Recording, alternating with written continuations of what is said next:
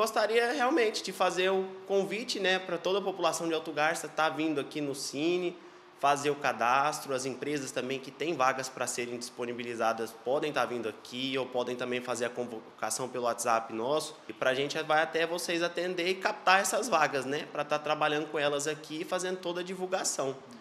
E hoje aqui no Cine nós estamos com várias vagas abertas. Já passo é, para vocês aqui os nomes, que é de aplicador agrícola, temos vagas para estoquista, monitor agrícola, motorista de caminhão, operador de máquina de beneficiamento de produto agrícola, operador de trator diversos, servente de serviços gerais na conservação de vias permanentes, é, tratorista agrícola e vendedor de comércio varejista. São as vagas que nós temos hoje aqui, Luiz. Bom, é importante a gente destacar, o, o Lucas, a documentação que é necessária, né? principalmente para aqueles que estão procurando emprego, para estar vindo aqui no Cine fazer o seu cadastro. Como que funciona?